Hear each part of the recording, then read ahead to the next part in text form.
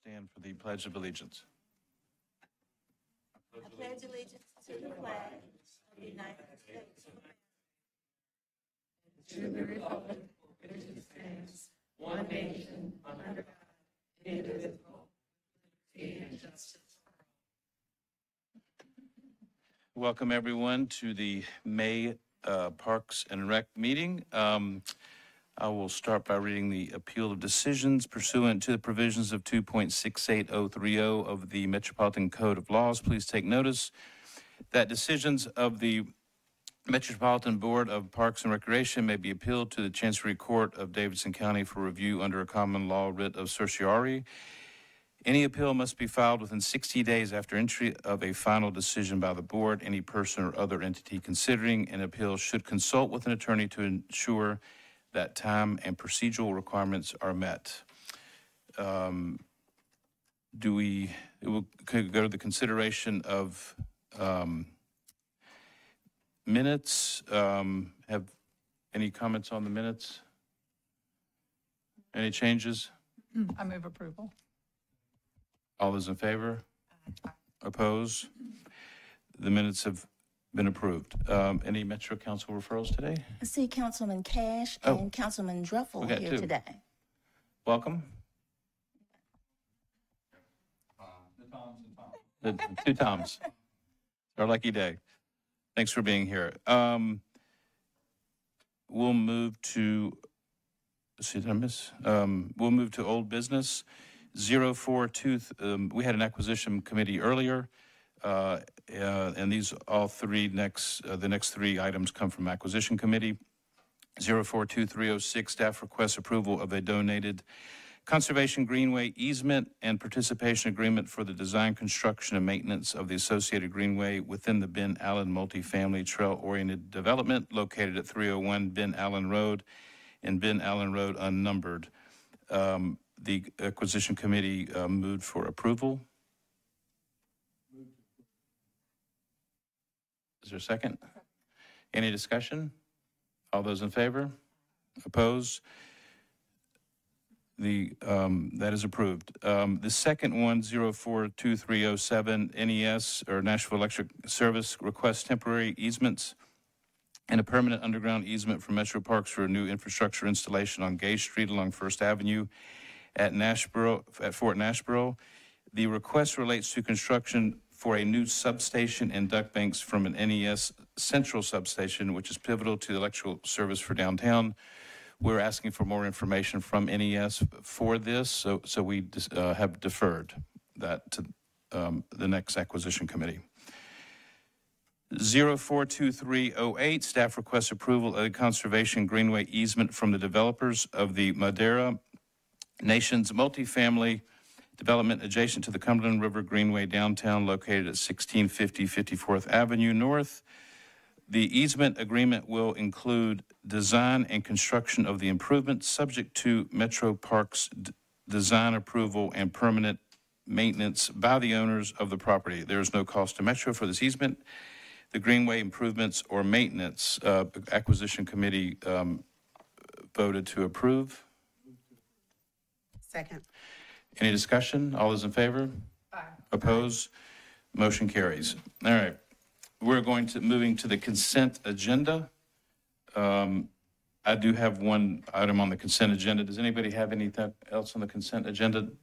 So I'm going to ask Jim Hester if he would, um, to come up. Um, I've got a, a note from, um, someone from the Parthenon, uh, about the worship protest prayer gathering, uh, amplification approval. And I think we've had some items we need to discuss about that before we proceed. Right. Uh, What specifically do you want to know at this point?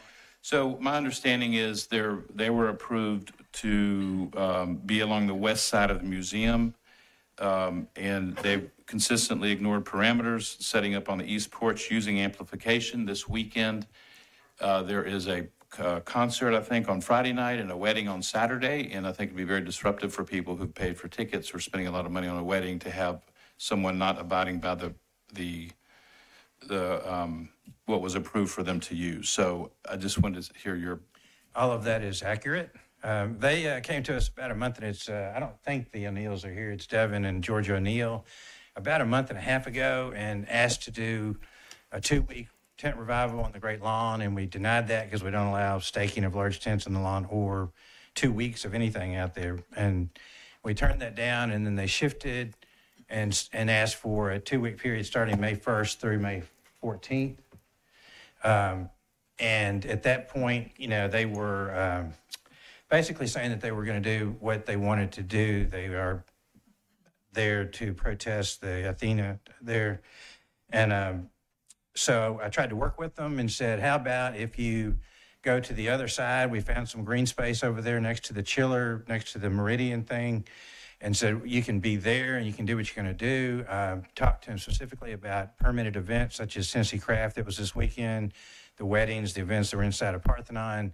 Said, look, you can't infringe on other people who have gone through the process and gotten approved and had permitted events.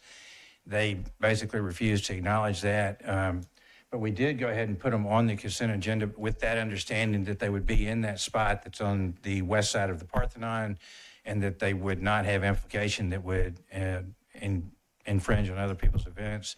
But you're right that uh, since they, they did get here on the 30th and they have ignored all of those requests to not amplify, I think they've been uh, issued citations several times by Parks Police. I don't know the number of times at this point, but they've been issued citations several times. I did just get off the phone with Tennessee Craft. They said it was very detrimental to their event. The Friday night event um, was a concert that the Conservancy had to rent additional amplified sound equipment to make that work. The docents and the children and the school trips that are going into the Parthenon, they're having a, a hard time even hearing the, the normal uh, narratives that the docents try to give. And so, yeah, it's, it's pretty much been a problem. What do they have approval They have no approval for anything at this point. There is a, an, an item on the agenda to have their, I- I, I don't want to call it a revival, but their protest on the green space, uh, opposite on the west side. And, but I don't Well, it think we sounds like have, we they've don't have broken- any It indication. that sounds like they're- don't listen to any of our rules or abide by anything that we have allowed them to do, correct? that- th- That's right. Okay, so, I mean, I would think we should entertain a motion that we deny them this. I make that motion that we deny this. Second. Is there any further discussion?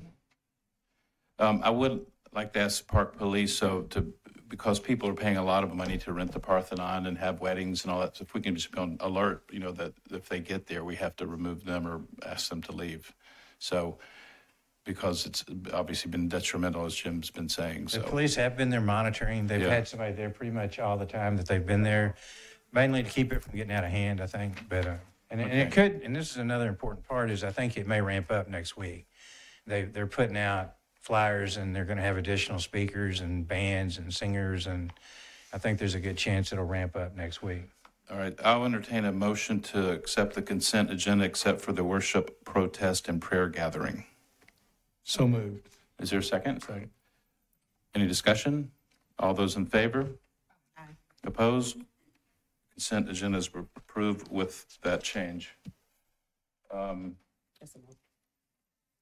Council, Councilman Taylor is here, you were saying? Okay, I didn't see him. All right, um, let's move. Just acknowledging he was here. Sorry? Oh, I'm sorry. Okay. Um, all right, we're moving to new business. Um, all right, new business 052302, staff requests approval of a permit for use of park space for the Fairfield Missionary Baptist Church to host a community garden on the property located at 3854 Whites Creek Pike, Nashville. The permit is for a period of one year contingent upon all permit obligations being met. Um, And there's a copy um, for review uh, here. So um, who would, Staff recommends approval for that. Do you have any questions? Any questions? Entertain a motion? Motion to approve. Any discussion? All those in favor? Aye. Opposed? Motion carries. 052303, na- uh, sta- staff request approval f- of a permit for use of park facility for Notes for Notes to administer a music studio for parks after-school youth at the Cleveland Community Center. The permit is for a period of one year contingent upon all permit obligations being met. Staff recommends approval. And I'll entertain a motion. So moved. Second. Any discussion? All those in favor? Aye. Opposed? The motion carries. 052304, the Nashville Steam Preservation Society requests approval to amend the current lease agreement between Metro Parks and the Nashville Steam Preservation Society to include a four-year extension of their restoration period as stipulated in the locomotive 572 agreement, um, which was on the Parks agenda item um, from 2016. I can't believe it's been that long. I remember that. Um, Where are, is there any update on the restoration? Yeah. Oh, yeah. Have an update. Oh, good. Name is Joey Bryan. I'm representing the Board of Directors for the Nashville Steam Preservation Society. Um, We're on track, if you will, Yeah. um, for a full steam up. You couldn't wait to say that line. You practiced that. That's right, all the way up here. Um, We're thinking about two more years until we're fully operational. Uh, We just got the wheels back uh, from being fully serviced and repaired in Chattanooga. We're hoping to do a steam test early next year, then uh, complete the final assembly or reassembly of the locomotive, and then hopefully begin uh, tourist operations and working with parks and all your programming, uh, hopefully in 2025. To date, we've raised more than $2.1 million and we are currently doing our uh, what we're calling the last mile campaign to re- to raise the remaining three hundred fifty thousand dollars to complete the mechanical restoration. And if anyone's interested to come down and tour the shop and see the progress, I'm just happy to set up any tour dates. Qu- Quite the labor of love, that project. A lot of sleepless nights, that's Yeah, for sure. Exactly. Um, I entertain a motion to extend uh, the restoration period. So moved. Second. Any discussion? All those in favor?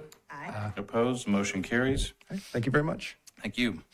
Uh, 052305, uh, Mr. Philip Claiborne, founder of the Two Rivers, Friends of Two Rivers, requests permission to begin hosting events at Stone Hall and request approval of proposed fee new for Stone Hall. Uh, Mr. Claiborne also requests approval of proposed fee changes at Two Rivers Mansions, Mansion. Staff recommends approval. If you all will recall, um, I think last month, Friends of Two Rivers, um, came and did a presentation and also talked about the expansion to Stone Hall. This item should actually have been on that agenda as well, um, but we do recommend approval for, for these fees. Motion to approve. Uh, Any discussion? All those in favor? Opposed? Motion carries. 052306, staff requests acceptance of a $2,000 donation from the Friends of Shelby Park and Bottoms for the Wellness Community Recreation and Cultural Arts Division. Staff recommends approval. Motion, Motion to approve. second. Discussion? All those in favor? Opposed? The motion carries. 052307, staff requests acceptance of an in-kind grant not to exceed $5,000 from the Nashville Youth Hockey League to fund the purchase installation of up to 20 door wrap graphics for lock, for locker room and other doors on rink A and B of the Centennial Sportsplex. There's no required match or other obligation by parks associated, associated with this grant. Staff recommends approval. Entertain a motion? Motion to approve. Discussion? Um, Yeah, I do have, I'm just trying to understand, are these ads or wayfinding? What, like, what are these door wraps? They're basically just a wrap that goes around the doors. The doors get beat up at the Sportsplex because of the hockey sticks and everything else. This will make the doors look more attractive. The only thing that we'll have is the NYHL logo on it. It will not have any advertising of anything other than the NYHL logo. Uh, NYHL has been a long-standing resident youth hockey league that uh, is our resident program that is there. For clarifying. All those in favor? Opposed? Motion carries.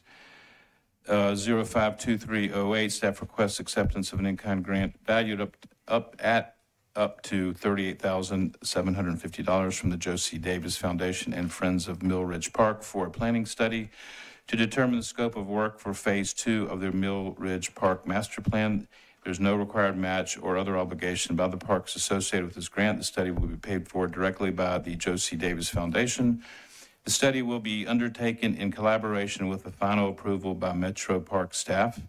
Staff recommends approval. Entertain a motion. So moved. Second, Second. any discussion? Sorry, I'm just, I do have a clarifying question. So the, the study is being done by Metro or by, done by a third party? Tim,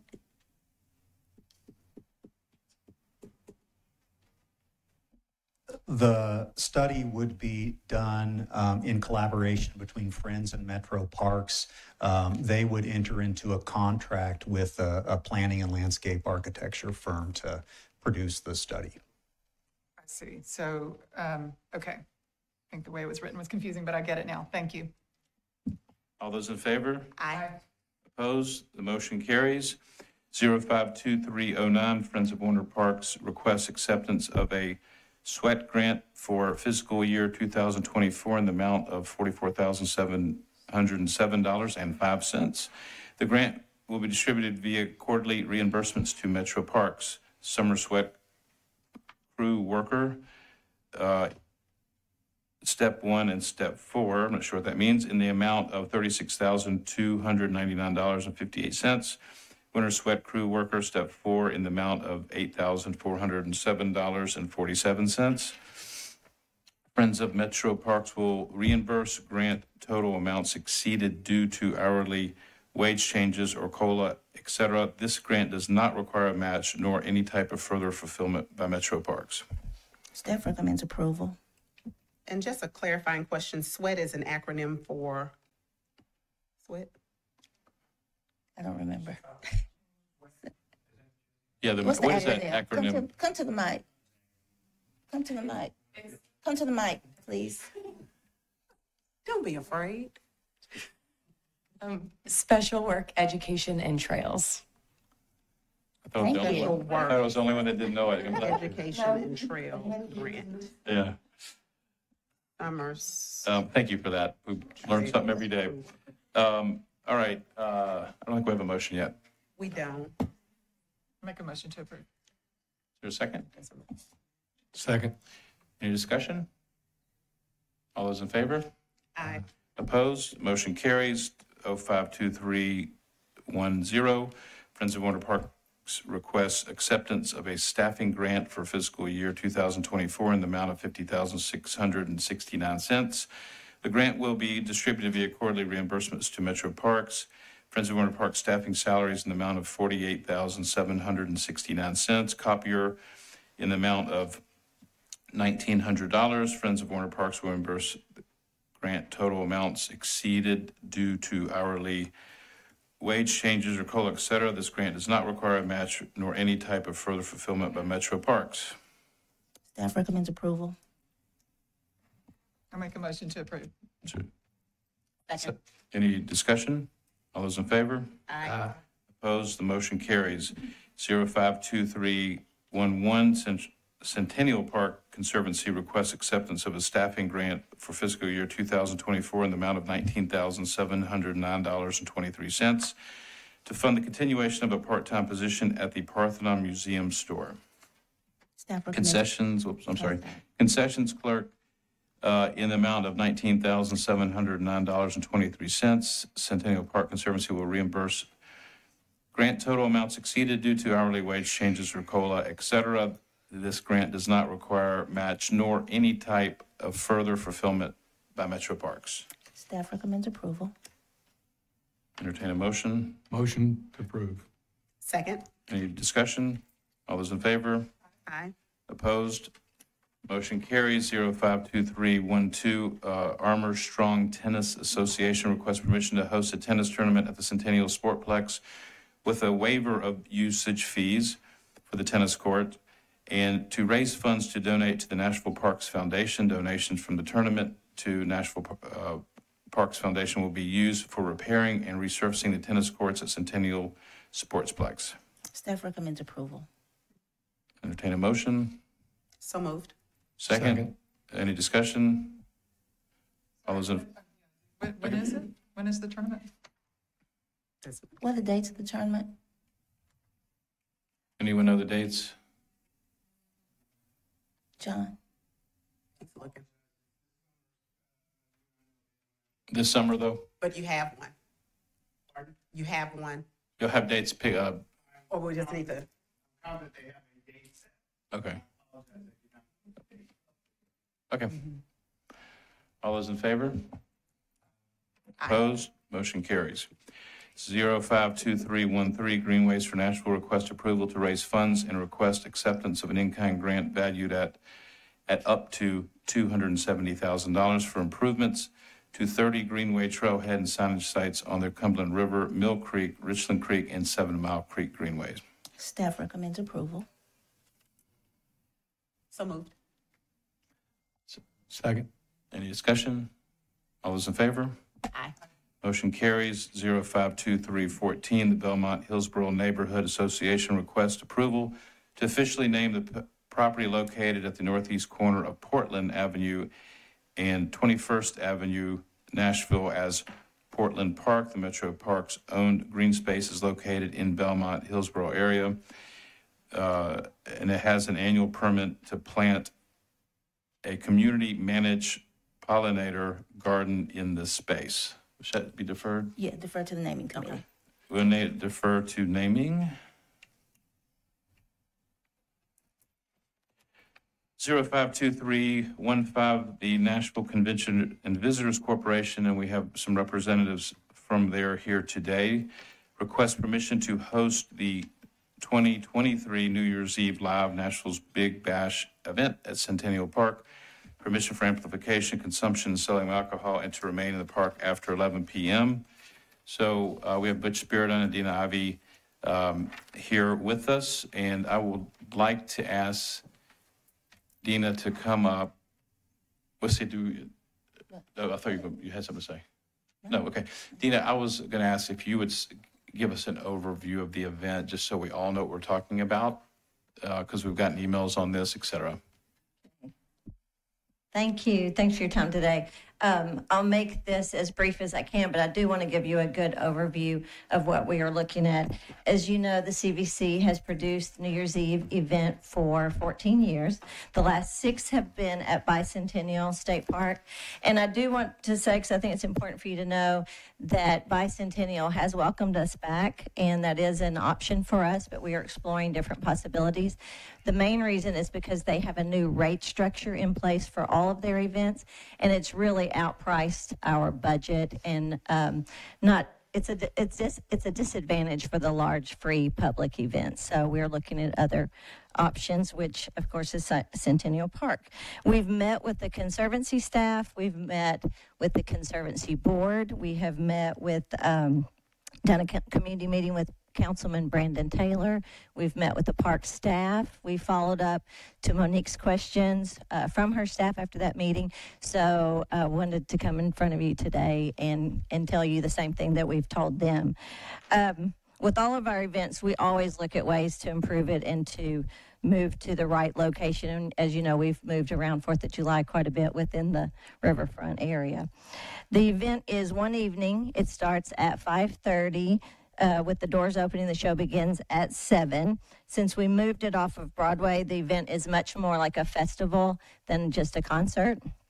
Families attend. We haven't had any problems, any issues. We've had one arrest, and that was a homeless person that wanted to be arrested to have a warm place to sleep that night. So we haven't had any trouble since we've been at Bicentennial Park. We stress security and safety. We fence off the area, and we have hundreds of private security as well as Metro PD. Last year, we sold 33,000 hotel rooms, so it's an impact of about $38 million in visitor spending to the city. The number of attendees varies. It's uh, really on a flow, depends on who's on stage at the time. They come in, they go out. And after um, we've met with the different groups. We have agreed to cap it at 125,000 people. And again, that would be more at midnight. And Centennial Park is about two and a half times bigger than Bicentennial Park. Um, again, most people would be at midnight to watch the note drop. We cover the um, area closest to the stage, about 200,000 square feet of flooring to protect the grass some years, I mean, last year was great because it had frozen and the grass was in great shape. Some years it's been muddy. We'll we'll tell you that, but we do everything we can to repair the park, and we always leave it in better shape than we found it. Sometimes we've even uh, fix things that weren't that we didn't break, like light poles. We've replaced more light poles than were even affected by us. We've been a longtime supporter of Centennial Park and the Conservancy and Musicians Corner. This event will be a fundraiser for the Conservancy. We'll make a considerable donation. We will also pay, to the Conservancy. Will also pay park fees and pay to close the Parthenon on the 30th and 31st. The rest of the park will not be affected um, as we're moving in and moving out because we will fence it off closer to the stage so that the park will be open to all the ones that want to use the park. We have never had any major complaints from the neighborhoods around Bicentennial, like Germantown. They've welcomed us there and they've welcomed us back. We've met with them before and after, and with any concerns, and we've always made the changes that they've requested. And the last thing I'll say is the event will be broadcasted on CBS. It's a five hour special. So the Parthenon will look fantastic on TV. And I'll leave you with we have always, the CVC has always been good stewards of, of whatever park we use. We use Riverfront for July 4th, we use Walk of Fame Park, and we always take good care of it and leave it better than we found it. And we're just asking that you give us a chance, give us one year, see how it goes um, because we know that we'll do the right thing because we want to be invited back. I'm happy to answer any questions. Thank you so much for being here. Tell me your last name, Deana. Ivey. Ivey. I knew that. Could not call it to my uh, remembrance. One of the things that um, um, I appreciate about, appreciate about the CVC is that you absolutely leave it in better, um, better than it than it was, you know, before. I do appreciate as well um, the work that has been done to bring um, that 38 million to the city. But one of the things, and I say but, but one of the things that has come to us is the uh, concern from neighbors um, who live in the vicinity. And it is the job of the CVC to bring tourism to Nashville. But one of the complaints from citizens who, long-term residents and myself, is that there's not a, a, a focus on us. There's not a focus on, from, from, from the government on um, the, the needs and the interests of its citizens. And so while that's not your what you do, it is something I think that the um, that we have to take into consideration as neighbors are complaining about yet another event that will uh, be in their community. And so this will be a new community for this event. Um, you already have the partnership with um, um Germantown and you know those communities around there. And so I, I guess I'm asking. I understand the fee structure has gone up and, and everything is going up. Have you looked at Riverfront Park? Have you looked at the Titan Stadium? Have you looked at things that remain downtown since you already have the partnership established to have the event?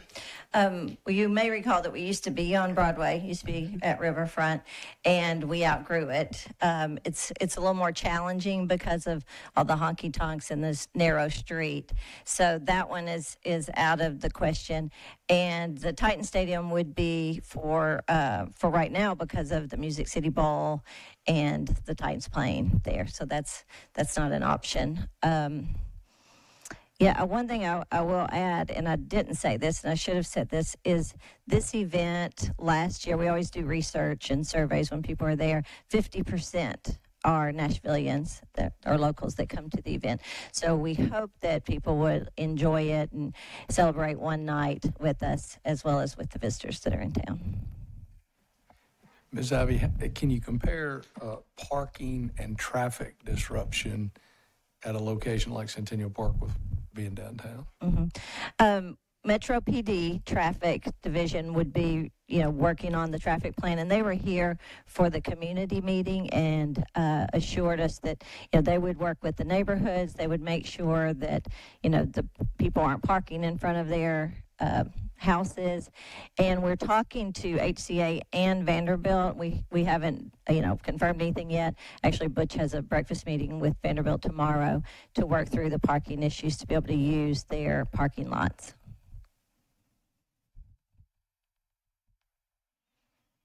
My question is, I think for the Parks Department, or I'm not quite sure who, who to direct this to, so. um, So the Great Lawn was a $12 million investment, um, a $12 million impro- improvement. um, That was a, a, a private-public partnership. Um, So can somebody from the Parks Department speak to and remind us the construction timetable, how long it took to construct that, when it was completed, how long it was inaccessible, um, and um, speak to the Great Lawn? So I will call uh, two park staff up, uh, both Tim Netsch and Phil Luckett. So Tim on the the construction side, development side, and then Phil on the maintenance side. Sorry, what were the questions?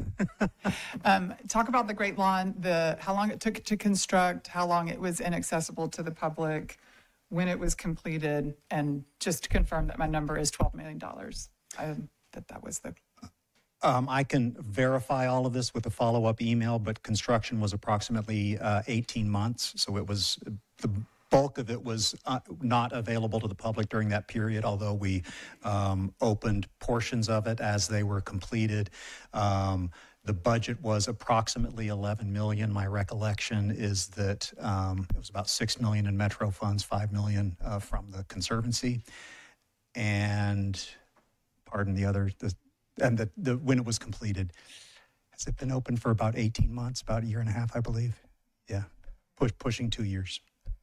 and um, I think my questions, um, Phil, I'm glad you're there, because um, I think I'm, I'm understanding that the- with the Great Lawn being Bermuda, Bermuda has its own tricky qualities, and, and I think having a big event on, um, on Bermuda can be a challenge. So can you speak to um, what it would mean for 125,000 people to be having a New Year's Eve on the Great Lawn? Well, Bermuda grass at that time of the year is what we call dormant. People like to say dead. It's not dead. It's just dormant. It's brown. Uh, its active time is, just now starting. That it's going to be greened up and growing. So when we have events like what's going to happen this summer, we can recover from that quite easily. It's more problematic uh, to recover from wintertime damage because you really don't know where you are until about April, late April, till it starts greening up you know, so you, they would have to, we'd have to come back in and do some resodding and, and whatnot. How that would affect early, the early events, like we just had the crafts, first crafts fair, is still remains to be seen. We've never done this before. Uh, I think the biggest um, population we've had on the Great Lawn is 10,000 for that one event.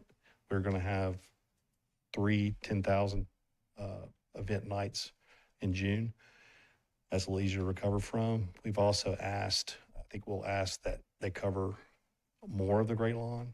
You know, we, matter of fact, we'd like to have whatever is in the area that, that is going to be trafficked um, by the public, that 125,000, that we would like to have all of that, you know, all of that covered. Um, especially if it's a normal December and we get a ton of rain and you get a lot of mud, you know, then there's going to be some recovery time, and that recovery time won't be immediate. It'll be it'll be pushed into the spring. Um, so whether or not Bermuda survives, we already got some weak areas this year because of the extremely cold temperatures that we had in December that we're having to try. We're going to try to push through what we can get growing. But um, I, that answers. I hope that answers your question. no, or it if there's did. something more specific. It did. No, I'm sorry. I'm going to keep drilling down because I, I That's think, okay. um, no, I think rain is a likely event or needs Very to much be. so. I mean, it's, it's, we're- we're considered. normally, we're normally wet. Our winters are normally pretty wet and there's no dry time and there's no evaporation at that, at that time. So they, s- things stay, things stay damp, wet longer. Right. Um, so that could be a challenge to having that number of people. Um, and I, I guess on covering the grass, I was under the impression on a personal project that covering grass can be tricky, even, even even though it's off growing season, but I'm not, I'm not as concerned if it was growing season like they do at the Titan Stadium when they have all these concerts, right? Uh, in, in the year. Yeah, that's going to kill it. They basically are resodding the entire, the entire stadium, uh, once that's done. Okay. With the flooring system that they have, the, it's like a I-beam with flooring on top. I think that helps that, that situation. It leaves space for the grass to, to breathe, to breathe, and it's dormant. It's just sitting there, not doing anything. It's not taking up anything, not doing active growing. So I think that would be okay. Uh, we would have to see how that turns out after after the first year. But I'm I'm a little less concerned about that as I am about all the foot traffic and damage that uh, that that wet and, and muddy condi- conditions. I cannot tell you how that's going to turn out because that's just unknown. Right. Um, I think my next question might be real for Jim, um, because I'm interested in, in understanding um, the concerts that um, are next month, um, the AEG concerts.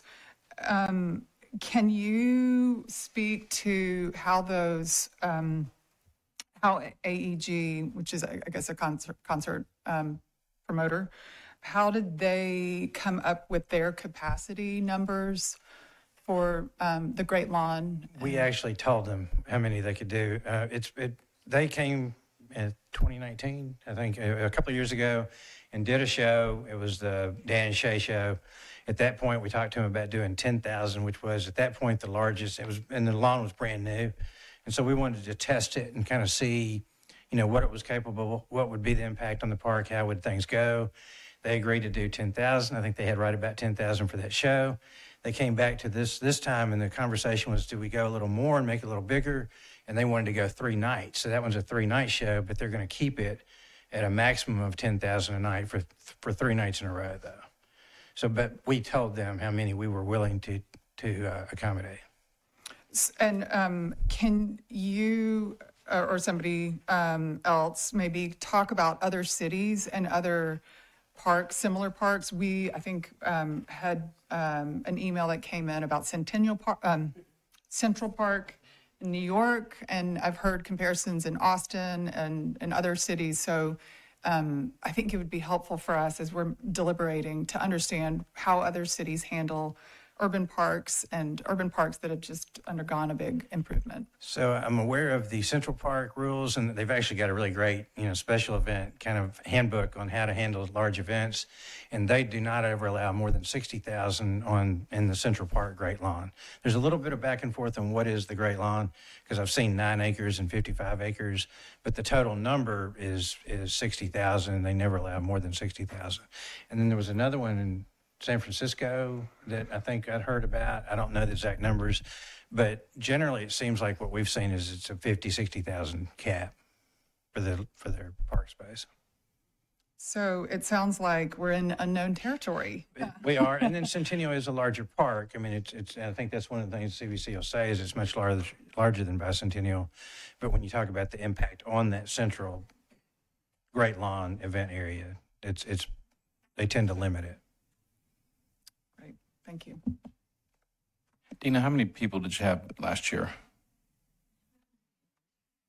In, in the park? In that park, yeah. Um, Councilman Taylor, would you like to say a few words?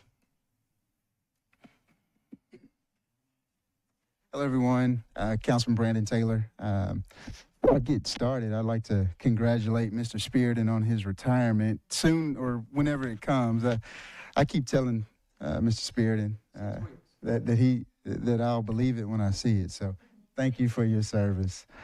Listen, um, so the council doesn't have a say on this, and so I really wanted to come in and uh, my goal is to uh, ask you all to um, spend some time and, and give the neighbors uh, in this in this area a chance to kind of come to this forum and in a public comment period um, to be able to kind of voice their opinions. Some of the opinions that I've heard. Um, people that are really excited about the opportunity for this, and then others that have some concerns as well.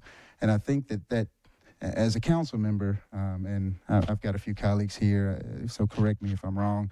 Our goal is to listen to the citizens and uh, and then determine uh, the best outcome, therefore, uh, moving forward. And so I think with this not coming to the council body um, and it's coming to you, and you all will be making those decisions, uh, my request would be that you all have uh, a form of a public comment period uh, for them to kind of share their thoughts, feelings, specifically the neighbors that are right here uh, that I represent in District 21 um, that are next door to the park. So um, I'd ask that you guys uh, maybe consider that, uh, maybe defer this and, and consider that uh, having an opportunity for the next meeting uh, to be able to do so and then make your final decision at that meeting. Did you go to the, um, y'all had a- a neighborhood meeting. Were you there? We did, yes. Okay. I, I hosted the How was that? It was good. I think it was. Um, I think it was a, a great start to the conversation for the neighbors. Uh, that was the first time that the residents were. Uh, I'd been talking with CVC for quite some time, and one of my main goals was to have a community meeting. And that was the first time the residents had a chance to kind of hear uh, what the plan was, ask questions, uh, and then from that moment go back home and kind of chew on it, right?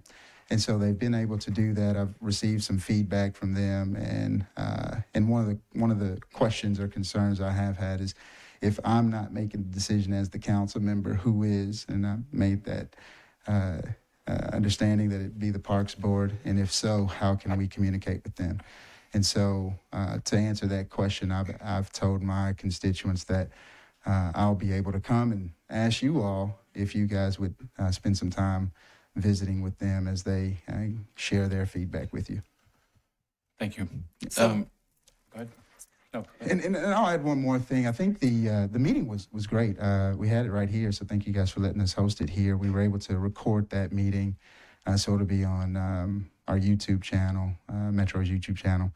Uh, it it I, think a lot of questions were answered. Um, I think a lot of concerns were uh, were navigated. I do think that there were some other questions that maybe bubbled up after the meeting, uh, being that it was our first uh, conversation. But um, I think it was it was a great meeting. It was well attended, and I, think that um, um, that I think that based on some of the feedback from the CVC, they've uh, really paid attention to some of those concerns and feedback, and so um, so I think that that's a, a point that I would like to make for you today. There's been one community meeting, That's correct. and um, Mr. Spyridon will meet with HCA tomorrow. Vanderbilt tomorrow, thank you. Um, And then adjacent council districts, because it, are who? Right. So we have uh, adjacent council districts, uh, uh, Councilmember Murphy, Councilmember Cash. I've had uh, individuals from their uh, council districts reach out to me directly, and uh, and I believe, I mean, of course, you know, we can't discuss these things, so I believe that uh, I see them in the email. But I believe that Councilmember Cash and uh, Councilmember Murphy have also communicated directly with, with their constituents as well. And Councilmember Cash is here. Did you want to speak? Thanks. I want to echo uh, some of what Councilmember Taylor has said. Um, I did have a couple of constituents who came to the the meeting that he had um, earlier or in April, and I think it was helpful for them. They, um, I think, went in thinking heck no, and and some of their concerns were um, addressed. Not all. They didn't go to heck no to heck yeah, but um, still wanted some things answered. Uh, I I have spoken with some folks at the uh, CBC and CVC and um, am wanting to have a meeting, uh, and it could you know it could. I'm my district's right on the other side of West End.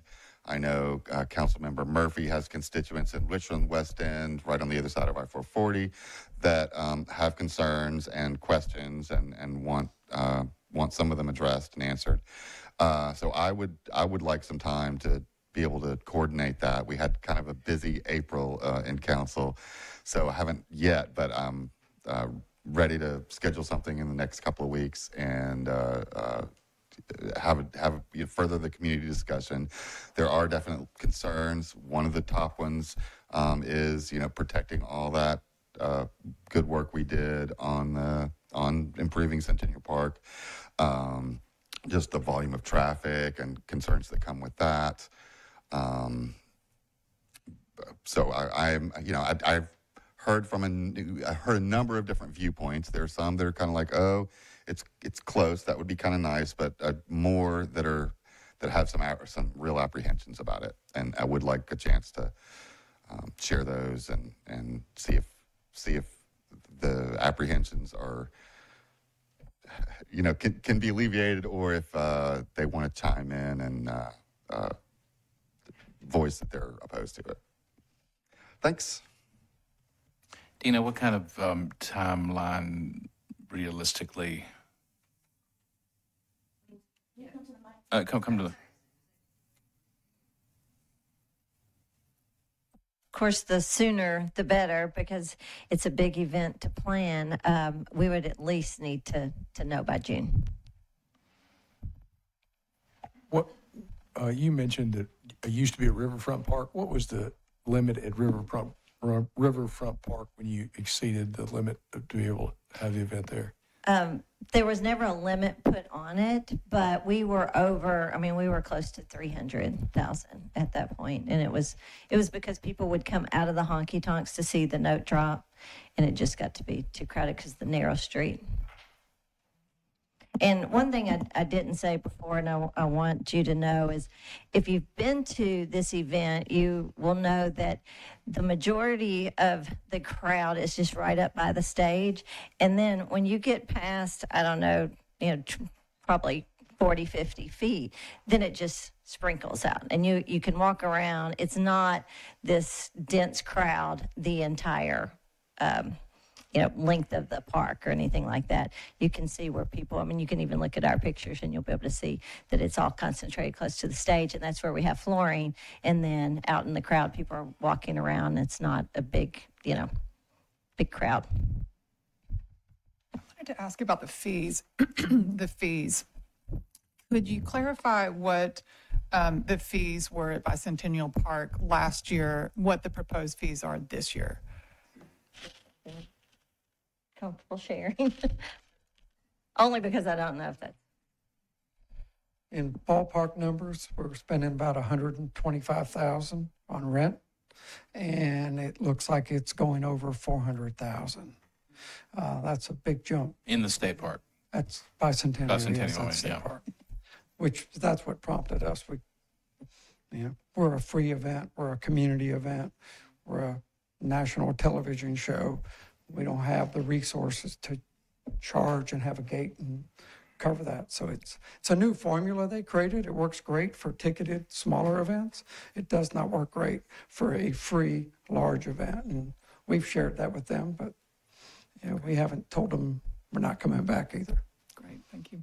And um, I might just have a question for um, Parks um, on how our structure, regardless of the donation or the pr- proposed donation, what would our fees be if that wasn't included? Just uh, maybe Jim could speak to, um, sorry, Jim, Um, but in, in case you couldn't hear, I can repeat it. I kind of don't want to say, but it's uh, 17,000 would be the actual parks fees. But that wouldn't cover, they have volunteered to cover the closure of the Parthenon for the, the days, at least two days. And that's a whole number, number that we have to work up is what that would be. I don't know that, uh, we know that. Also overtime for um, park. Yeah, there's different employees. commitments we would ask, like covering overtime staff or our staff to come be there for load in, load out and to watch it.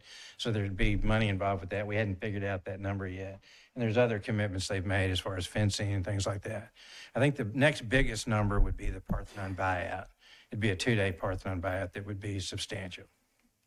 I think it's just, I, I, thank you, that's really helpful. Thank you for, um, Another number I can give you too is AEG is actually paying about 165,000 for one day, for three. three days, three days. Okay, 165. Okay, that's a help, helpful data point as we consider our park policies and our, our rates, just to kind of compare how, how it is in the market. So thank you. Did you want to talk again? Uh, Okay. Um, All right, so I think everyone's had their say. Um, So I will open it up to the board to, I'd make a motion, we defer and try to get more community input. I'm very appreciative of the fact, uh, $38 million to the city. I think that's fantastic. 33,000 hotel, hotel- hotel rooms, I think that's fantastic. However, uh, we need to be comfortable that this is something that we can do effectively. And I certainly understand the difference in cost, but if we damage that lawn, that cost pales in comparison. So I, I think we should defer. I'll second. Come up to the,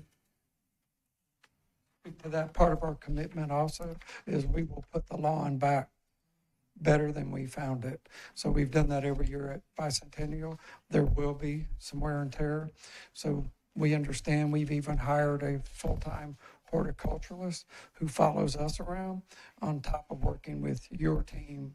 But we understand that's a whole separate expense that we know we'll- we're responsible for.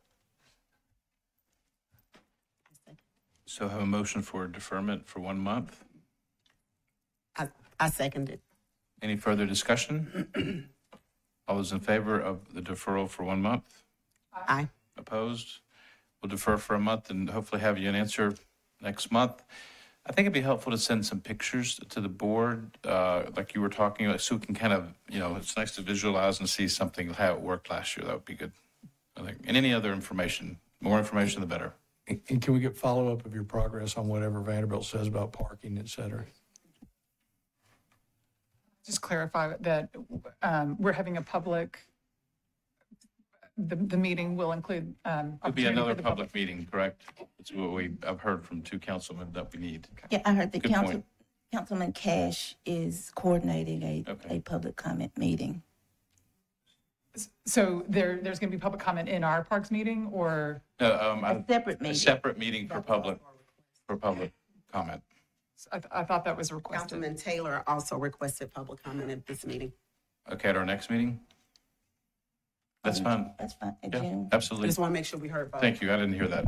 Okay. Thanks for clarification. So we'll have both, a public meeting and a, a public meeting here. All right, we'll move on to special presentations. Um, ask Jenny Hannon to come up, Friends of Warner Parks, to present annual update to the board. Um, we ask that these presentations are seven, no more than seven minutes, please. Thank you. Ready? Thank you for uh, allowing me to be here today. It's always a pleasure to share with you what we've done in Warner Parks over the last year. And uh, I want to welcome a few of my team members here. I have a board member out there, Joe Hall, and um, Molly, who you heard from, who knows what sweat is when we didn't, and Caroline Cruz, who's our uh, urban naturalist, and Jane Avenger, who is my COO. So we're all pleased to be here today to share with you what's going on at Warner Parks. Our goal over the next year and, and has been, but as especially we move forward, is creating sustainable solutions for Warner Parks. Warner Parks will be 100 years old in 2027. And um, as we all know, and as we've just heard, Nashville has changed tremendously over the last 10 years, and the same in Warner Parks, where we've always been a big park, but a park not um, necessarily utilized by all of Nashville. And it is now very much a park that is used by all of Nashville locals and visitors. And so it's really our mission to protect and preserve this park for as long as we, uh, for the next hundred years, for our next generation. We have four areas that we really focus on, enhancing park infrastructure, conserving our native ecosystem, stewarding our communities, and again, to be sustainable for the next 100 years. We work very much in partnership with Metro Parks, and uh, the the team here that Monique has put together has been a tremendous asset and resource for us as well. Uh, our areas of focus are wildlife research and education, natural resource management, historic restoration, trail preservation and maintenance, community engagement and recreation, and land acquisition are the four focuses when we think about how we're going to invest in Warner Parks. One program that I'm really proud of that we have expanded this year is our Urban Nature Program. This nature program has three elements to it. We have a year round Nature Detectives Club, we have a Pen Pals program that comes to Warner Parks in the summer, and we have fall campfires and night hikes throughout the year. Our plan is to expand this program to additional community centers, work with closer relationships with the schools, increase our field trips, and enhance the quality and relevance of our programs. And Caroline Cruz has already done a fabulous job in um, all four of these areas. Think it's very interesting where Warner Parks is our green dot down here in the corner. We actually serve um, through a, a nature program 21 of our 26 park community centers. As you all know, the community centers don't um, have necessarily have the resources in all areas, and so we really try and provide the uh, element of bringing nature and Warner Parks to these community centers. Each of the dots on there are the 21 community centers where Caroline goes on a year-round basis. Those community centers then come to Warner Parks in the summer through our Pen Pals program, and we'd love for you all to uh, join us in one of those programs. They're tremendous. The gray area is the area that has um, the census is overburdened and underserved um, by disadvantaged, and um, according to the climate and economic justice screening, and we uh, really focus a lot of programs on those areas as well. In addition, Caroline is working with the teams uh, and the nature centers at Beaman Park, Millridge Park to expand the programs and help those kids who are in those community centers that are closer to those specific parks enjoy those parks as well. So this is a program that we used to have a part-time person. We expanded uh, to a full-time person this year and uh, one we're particularly proud of. Also at the Nature Center, our ongoing bird program, Nashville was just designated as an urban bird treaty city, and that's a tremendous uh, uh, designation for Nashville. Worked very closely with the Nature Conservancy, with this, with the mayor's office, and all the uh, regional parks to get that done. Uh, my favorite project is invasive plant control. We know that if we don't eradicate the invasive plants in Warner Parks, we will not have a park in 20 years. And our goal is to be invasive free WP by 2027. We're working with invasive plant control on this project. We've invested over a million dollars in that project so far. We've created, we've um, uh, treated about 1,300, over 1,300 acres of the park with another 1,300 acres of forested area to go. We also have a tree trust program that we relaunched a few years ago. Our goal is to plant 27,000 trees by 2027. We have a number of partners in that prog- in that process. This year, last year we planted 4,000 trees. This year we have 6,000 in the ground with another 1,000 to go. This is a really important initiative with our emerald ash borer, which I know you all are very familiar with.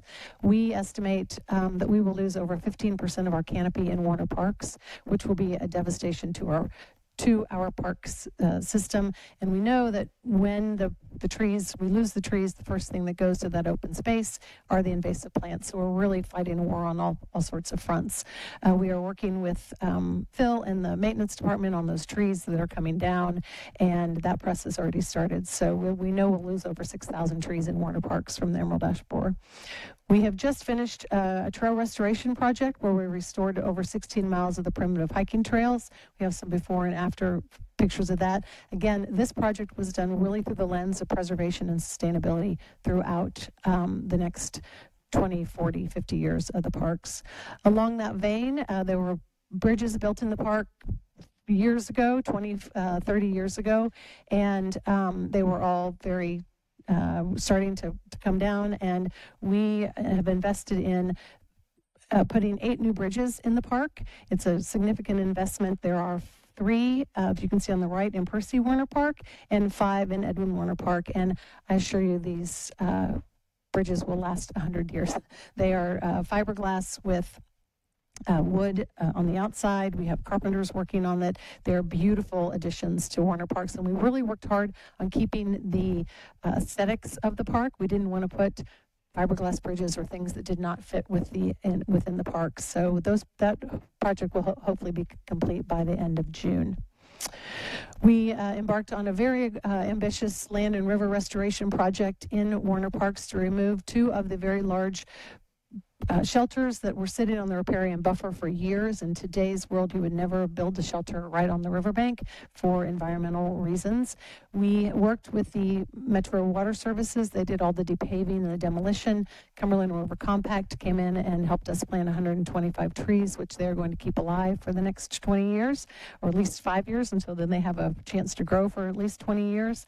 We um, uh, we have we're paving a great great new section of that park and we have uh, put up two beautiful new park shelters. This is one of them. So we took down tr- shelters 10 and 11 and replacing with two large shelters at 9 and 10 and um, we'll hope to have a little ribbon cutting then as well. They are beautiful um, new shelters in additions to warner parks Uh, uh, Many of you know we are restoring the Percy Warner Golf Course, which I said was built in 1937 and last restored in 1937. And this uh, project is well underway. We are waiting, um, working closely with the Water Department to get the course irrigated. It has been watered by hand for the, uh, for, since its inception. And we have a whole new irrigation system, new trees and bunkers. Uh, The exciting thing about this is in the middle of the uh, area is a new practice facility, and it will be really uh, helpful for our youth programs, programming that Metro Parks does there. Our hope is to open it in September of 2023. A lot will depend on the summer and the watering, et cetera. So um, in the fall of 2023, this park will be open. Uh, we have been working since 19, or 2017 to uh, purchase these three properties, and uh, we're now hopefully going to be transferring them by the end of the year. And uh, there are three parcels, and there are two more left along this corridor, which we, one we have the first right of refusal, and the other one we hope to get um, as well, and then turn them back to the Parks Department. We hope to get, the Parks Department in 2017 agreed to help us fund um, one of these properties for $150,000. We hope to receive that money um, by the end of our fiscal year, which is um, June 30. And then we will transfer those 12 acres back to the park. We opened last week a new nature play area at the Warner Parks Nature Center, which included a new pavilion, a whole um, great number of new features. This 20 years ago, we built the first nature play um, facility at uh, Warner Parks or at the Nature Center, and it was very tired from so much use. And uh, there are some fabulous new structures that I'd love for you all to come and see. We let let the children sort of had a a um, practice uh, for the kids, and the first thing they did was jump on the top of that um, playhouse. that was the first place they went to go. Um, let's see, and then we do a number of these. We fund all these through 100% private donations. We have a number of events that um, help fund tho- these events, and in addition to uh, just donations from a number of capital, the capital campaign that we've been doing. Our total investment in the park, uh, which will end the, this fiscal, June 30, is over $3.23 million uh, in fiscal year 23, 24. So we're very, or, excuse me, yeah, 22, 23. So we are very proud of these investments into Warner Parks, and we are very grateful and proud of the relationship that we have with Metro Parks that enables us to do this together as a team. And um, we couldn't do it without you all. And we really feel like, again, our goal is to keep Warner Park sustainable for the next hundred years for the next generation to use. We have a Full Moon Pick'em Party coming up. I gave you all some tickets to that. Hope you will join us and have a fabulous board of directors that helps direct all of these um, initiatives and investments into the park and programming. How'd I do? Did I go over? Do I still Just a little. time? Sorry. Sorry, sorry. Any questions? Any questions, comments? Y'all continue to do a fantastic job, and we Thank you. appreciate that. That's a great partnership. Thank you. Appreciate it. Amazing. All right, we're going to move to Friends of Hadley Tennis to present annual update to the board.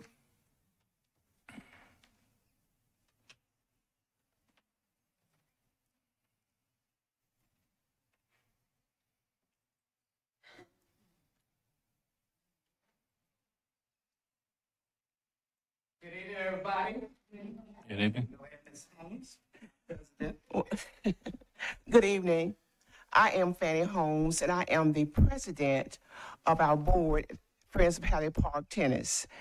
And we really would like to thank Metro our Bo- Bo- Board of Parks and Recreation for allowing us to come back and present our program to you again this year. I'm going to get out of the way because our director here, Mr. Joe Goldthreate, you all know him. He talks a lot. So I'm going to uh, step aside so he can present our program. It's a pleasure to be here today and to talk to you again. Uh, this is my 49th year.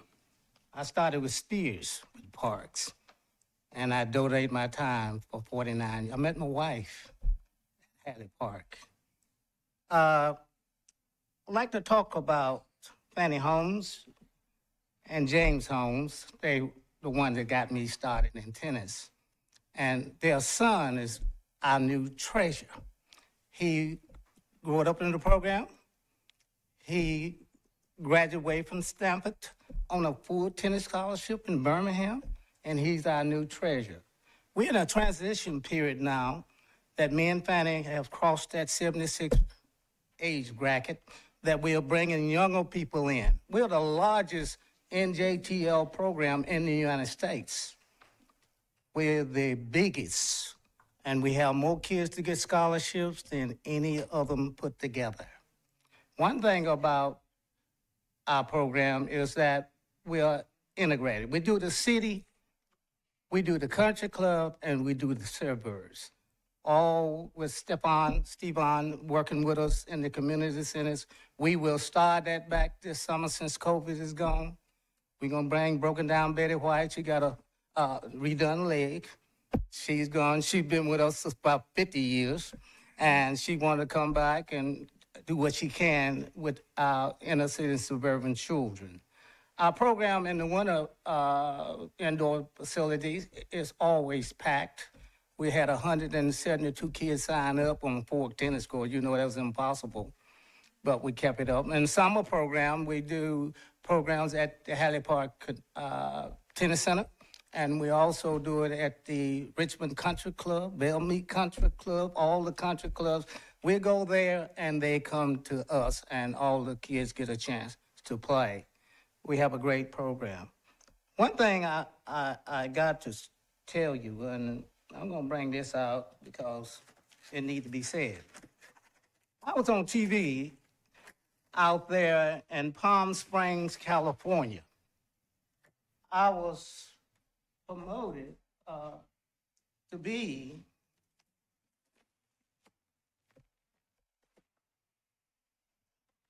here where they can see it, and I will let y'all see it, and then we'll be back through. I am the first Afro-American and park and recreational facility international master tennis pro worldwide.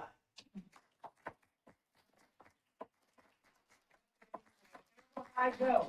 I'll be going to Egypt and Ghana. I'll be going to Israel. I'll be going anywhere. Um, my president, I will have to put this sign up. Dennis Van der Meer, Billie Jean King, they are all, I finally made it where they were uh, today. and when I put this sign up, they talk about one thing, that I'm the only one that was with park and recreation. And all the park and recreation directors come here to visit Hadley and see how it's run. And we want to be able to direct them over here and that's Stephon, Stevon, will be able to uh, tell them what's going on. Turn around, let everybody see the, that's so impressive.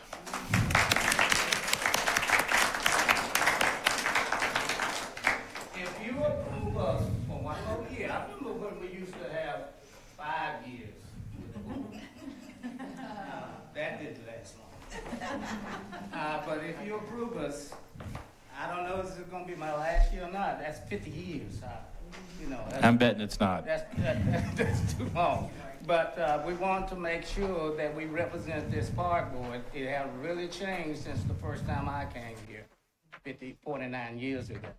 But it's always done for the best. We got good personnel here. We had good personnel then. Even though me and Jimmy Fights, Tom Lynch, and them, we all fought. But we came up with a system that our graduate kids who played tennis and became, you know, I want to stop for a few seconds before I leave. All the people that in politics here, director of schools was our secretary at Hadley Park. Jury Schloss was one of our tennis players at, ten- I can keep going down the line. Out of your uh, 30 councilmen, 24 of them went through Hadley Park's programs. So we want to be thankful, and I want to just appreciate the opportunity to speak to you once again. Well, It's always a, a great pleasure when you do. It's very uplifting. It's amazing what you've done, all of you. We don't believe that age. Uh, we would maybe check licenses later, but uh, I'm sure you're going to go past 50. But seriously, it's amazing what y'all do there. It's it's moving, and and that is so well deserved, and you make us all proud. Thank you.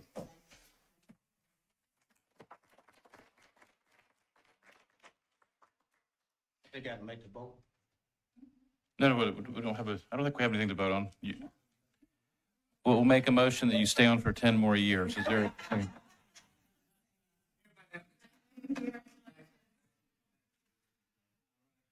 That was fantastic. All right, we're going to move on to capital projects update. Tim?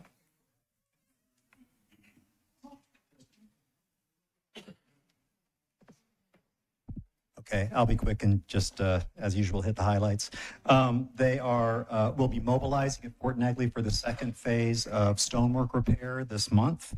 Um, uh, We're also working with the design team to uh, develop the uh, scope of work for Fort Negley Master Plan Implementation uh, Phase One. Did I say stonework repair Phase One? It's stonework repair Phase Two, Master Plan Phase One that we're about to launch design on. Um, At Hadley Lillard Park, the engraving is at long last uh, finished on the corner monument sign. Um, uh, Ravenwood Park, uh, they're getting close to wrapping that up. We probably have about a month more of work on that. Mill Ridge is not too far behind. Um, at Woodmont Park, Friends of Woodmont Park have completed the basketball court. There's still some um, seed and straw and other minor kind of punch list items to be done, but I believe people are um, using that. And then, if you didn't notice on your way in, you may not- notice on your way out, a couple of months ago, you all approved a land swap uh, on Parthenon Avenue. Um, that has not been finalized yet, but they are currently in the process of demolishing the house on the property that we will receive. Happy to answer any questions.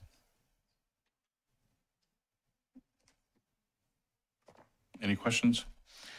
All right, we'll move, Thank um, ask Cindy, thanks, Tim, uh, ask Cindy Harrison to come up for Greenways update. Hi, yes. Um, Before I get started, I did want to introduce two new staff members to the Greenways team. Um, David Diaz Barriga joined us about four weeks ago, and Erica Green uh, started Monday, yesterday. So um, I hope you all welcome them. They are both urban planners. David has been with Metro for a while, and Erica has just arrived here from Dallas over the weekend. Um, so we're really excited to have them. They're already working. Um, so um, thank you for that. Project updates. Um, the Charlotte Railway Trail, we are doing a deep dive into title searches under the rail line itself as we continue to uh, finalize the route for that project. Uh, the 440 Greenway project, Sevier Park to Browns Creek, continuing to finalize construction documents on that draw, on that project, as well as outside our door, the 440 Greenway that will connect down to Centennial Park. Um, we've got two feasibility studies underway, Fort Negley, um, Greenway to Browns Creek, to determine if we can connect those via Greenway. We've got a couple of possible routes. We've, we've looked at five. And uh, we'll go out and do some site reconnaissance on that and, and see if we can tie that down. Uh, the other study is to see if we can connect the future Wharf Park to Riverfront Park down at river level, uh, in addition to what we're already planning up at, from Rolling Mill Hill. And we also have several alignment options on that that we're working through. So um, those are moving on along. Um, a couple of projects that would um, bring greenways, and I've brought, I've talked with you all about these a few times. These are private developments that are happening that would add to our greenway system. Just give you a quick update on those. The Richland Creek Greenway that would be affected by the Belle Meade Plaza um, project passed Metro Council's second reading, but I understand there's still quite a bit of discussion to be had on that. And then the Ariza Bellevue project that would extend our Harpeth River Greenway goes to the Planning Commission this Thursday. So um, just, I'll keep you posted as those go along. We've also had quite a few, um, I think four now, projects on Pennington Bend that will um, provide greenway easements, and those are working their way through the Planning Commission process as well. Um, I think Tim may have mentioned, but I'll, just in case I didn't hear it, the Trinity Hills Habitat Project that we're working on in um, Trinity Haynes area is moving forward. We're looking at easements there that would do, provide some neighborhood connectivity. And there was one more. Nope, that's it. Remind me, um, I'll try to keep track, how many miles of Greenway do we have now? We have just at 100 miles. We have 10 miles in design right now. Does that include, so we'll be at 110 or we'll be at 100? I'm sorry? Will that, we'll have 110 after that? Yes. Okay, great. Yes. Good. Do you mind giving a quick update on Opry Mills Connector, the status and the Sure. construction? Uh-huh. Um, so we're getting ready to send those, um, finalize those projects for bidding.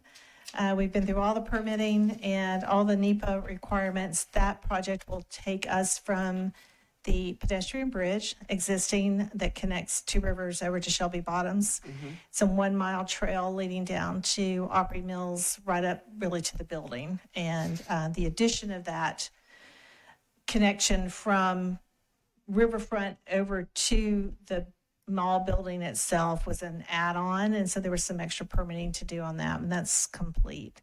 So we hope to get that out to bid this summer. It's anticipated to be an 18-month construction project.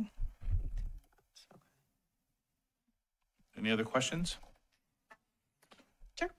Thank you. Thank you. We'll ask Jackie to come up and talk about our upcoming special activities and events. Good evening.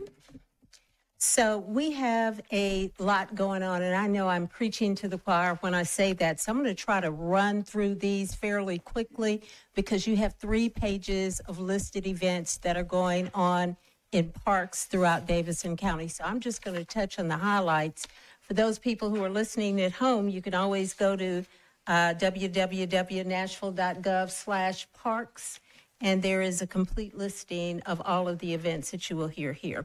So, um, let me get started here. We have farmer farmers markets uh, going on Saturdays from 9 a.m. to noon at Richland Park and from 4 p.m. to 7 p.m. at Sevier Park. Uh, the Musicians Corner Spring Series kicks off at 4 p.m. on Saturday, May 19th in Centennial Park and runs through June 17th. Jazz on the Cumberland, which is a very popular event, kicks off Sunday, May 14th at 5:30 at Cumberland Park and will run consecutive Sundays uh, through October. The full moon, uh, the full picking parties, uh, we have those going on at both Cornelia Fort and Warner. The one at Warner starts at 5:30 p.m. on Friday, May 19th, and runs through September 15th, and the one at Cornelia Fort starts at 6 p.m. Saturday, May 20th. And of course, there's the Iroquois Steep- Steeplechase, excuse me, that's Saturday, May 13th at Percy Warner Park. On Friday, May 19th, we have the outside cinema from 6:30 to 9 p.m. at Mill Ridge Park. Also on the on May 19th, we have the Nashville Jazz Workshop from 5:30 p.m. to 7 p.m. at Hadley Park. Uh, this Saturday from 11 to 2, we have World Migratory Bird Day Festival at the Shelby Bottoms Nature Center, which will feature the signing of the Urban Bird Treaty. Uh, Nashville, I think someone mentioned that here. Nashville has been selected as a bird treaty city because of its collective efforts to conserve bird habitats, reduce hazards to birds, and engage our city residents and guests about the importance of birds and bird conservation. Nashville, I'm told, is the first city in the state to receive the designation and the 31st city uh, in the nation to have this des- designation as well. Uh, other events include the Music City Brewers Conference Disc Golf Tournament. Uh, that's on the 11th. We have Shop Black Nashville on the 13th at Hadley Park. We had Kids to Park Day, which is also at Hadley Park. That's on May 20th. Uh, and then we have the BMX Nationals uh, at Hamilton Creek Park beginning at 9 a.m. And that concludes my report. Jackie? Um, all right, the report of the director. Thank you. Thank you, sir. Um, so I will also keep my report brief. Um, so as you all know, our um, council budget hearing uh, for the FY24 budget is next week, next Thursday at 4:30. Um, I am overall uh, very pleased with uh, what is in the mayor's proposed budget for our department. Um, we will have some um, we have some items that are recommended for um, investments uh, across the department uh, maintenance recreation uh, community centers um, environmental education, revenue producing, and then in some of our um, all other, as we talk about all the time, um, our discretionary areas uh, are recommended um, to open community centers, um, all of our community centers, neighborhood and regionals, um, on Saturdays from 8 to 4. That's exciting. I've uh, been here in parks for about 17 years and can, can remember when we had to take that reduction to um, close some of our community centers on Saturdays, and we are slowly inching back. So I'm excited to to um, be able to do that. Hopefully, um, uh, the community has has long wanted community center hours extended on the weekend, and hopefully, we'll be able to go ahead and get that started in um, FY24. Um, to support the city's efforts in managing uh, kind of the volumes of pedestrian activity downtown, um, we have temporarily suspended uh, vending permits in the downtown area. Um, there some, was some recent legislation that went through council um, for uh, right-of-way areas. Um, MNPD has been involved as well, so we're going to support that effort, um, and um, hopefully we'll um, add to that success. Um, our department will begin engagement with Metro's DEI team um, later this month. We're going to start with the senior staff um, and begin to um, work on our equity inclusion efforts in the in the department. Um, and then, uh, of course, as I always mention, our maintenance staff and all of our uh, team across the department are um, preparing facilities and locations for outdoor activities um, programming for um, summer uh, summer enrichment and other areas um, has started. Um, so we are very busy. And just a note that uh, we are experiencing, like uh, experiencing, like many other industries, um, um, supply chain issues. So I'd ask that everyone be patient with us uh, in terms of uh, any repairs or equipment that we probably have on order or back order. Uh, we are just caught in that mix of, of that delay. Um, I think that's all I wanted to mention, unless you have any further questions for me. I was just looking at the memorandum on the operating budget to actual. On the vacant, so we have, is it, do we add those two columns? Is it 400 total vacant or 108 or 586? So it would be a vacant positions, and that's all funds, across all funds, 405. But you will notice that the, the vacant FTE, there's 405 positions, but 181.03 FTEs. So it's important to, to know that those vacancies include pooled, pooled positions. So it could be sports officials, those on call, and seasonals. We're in the process of hiring four seasonal positions, so those will fill, that number will change. So we have a lot of vacant openings. We have several vacancies. Just remember, they're not all full-time. Yeah. So, I mean, do we have, I know we talked about that this before in here. Do we have a strategy around that? Um, Oh, absolutely. Absolutely. We are. Is it work- getting better? It, oh yeah, it is Yeah. better. It is better. It's a, it's a lot better. We've hired uh, a number of positions. I mean, uh, Cindy just spoke to two that that she has hired. Um, we are though having challenges. I'll be quite frank. We are having challenges with um, retaining people, um, and it and it has to do with the job market and the labor force. Um, we have had a number of positions filled. We hire folks, um, they come to work and then find something more lucrative um, in in the labor force to do. So they so they leave, or um, they'll come. We may have ten um, interviews set up, and only two people show up. So it is a challenge for for us. Um, one of the things um, that we have, I'm happy to to note in the FY24 budget, particularly in our maintenance division, is um, improvements to a classification. So we will um, um, transfer or transfer some of our maintenance and repair positions to equipment operator positions. If you'll recall, I had mentioned in some of our committee meetings that there is um, and has been uh, for years, um, kind of internal competition within Metro. Um, our maintenance department, um, NDOT, um, formerly Public Works, and Water have similar classifications, maintenance and uh, trades and labors and such. And we had not used the equipment operator um, classification, which is a higher paying um, classification. We will begin to do that now. So at least we can try to eliminate that internal to Metro um, competition.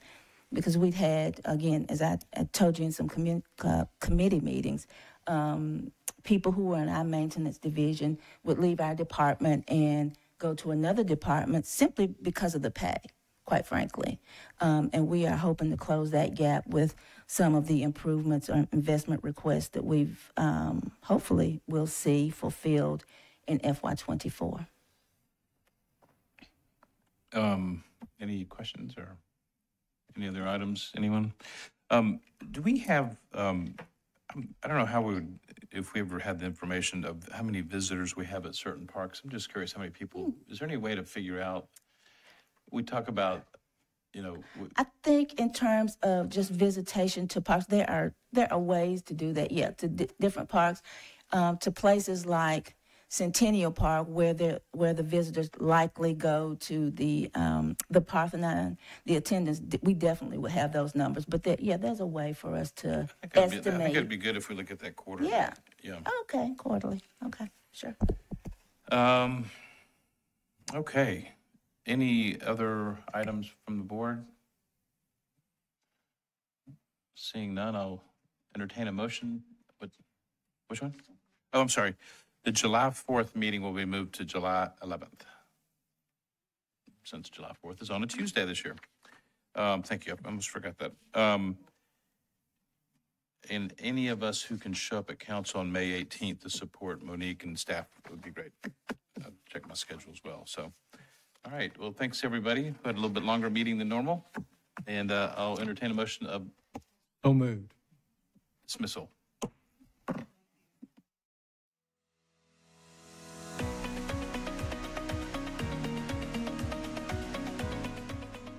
This has been a service of the Metro Nashville Network. If you would like to see this presentation again, or for more information on this and other programs, visit nashville.gov